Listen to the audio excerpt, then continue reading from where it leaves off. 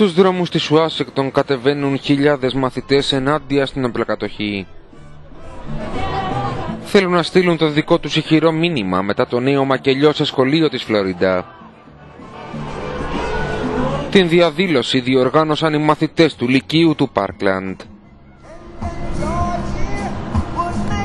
Εκτιμάται πως πρόκειται για τη μαζικότερη κινητοποίηση που έχει γίνει στις Ηνωμένες Πολιτείες για το ζήτημα των όπλων. Οι διαδηλωτές ζητούν την επιβολή περιορισμών και την αυστηροποίηση του νομικού πλαισίου που διέπει την οπλοκατοχή.